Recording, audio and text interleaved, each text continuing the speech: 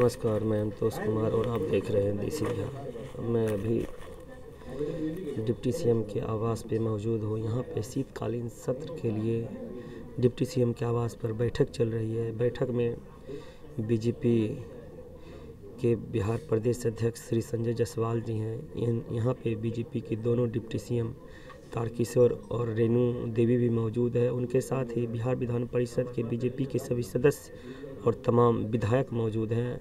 आप इस वीडियो के माध्यम से देखिए पहले बैठक में कौन कौन मौजूद हैं।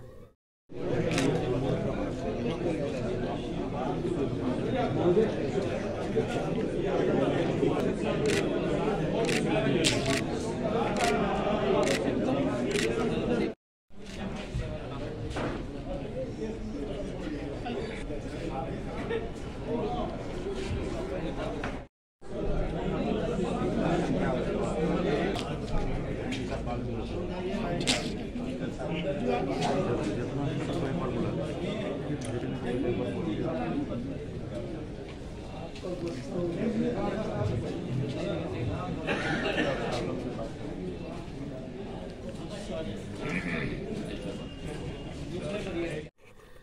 जैसा कि आपने इस वीडियो के माध्यम से देखा कि बीजेपी के सभी तमाम बड़े नेता इस बैठक में अभी मौजूद है। यह बैठक शीतकालीन सत्र के लिए चल रहा है। उसकी रणनीतियों के लिए इस बैठक में सभी लोग आए हुए हैं, जो कि तारकिशोर के घर पर यह बैठक चल रही है। तो ऐसे ही खबरों के लिए बने रहे हमारे साथ और आप देखते रहे देसी बिहार।